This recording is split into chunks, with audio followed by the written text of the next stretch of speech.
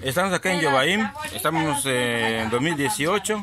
Mira, papi, los Estos tres niños, dos y este que se va para allá, ¿Dónde pasó? Ven acá, güey.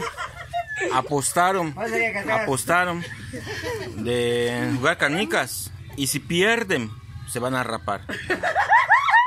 Se van a rapar. Eso estamos ahorita acá en Yobaim y ellos son los testigos. Son testigos de lo que dijeron. Yo no les dije nada, ellos vinieron, dijeron, vamos a retar a tío. Vamos a retar a tío.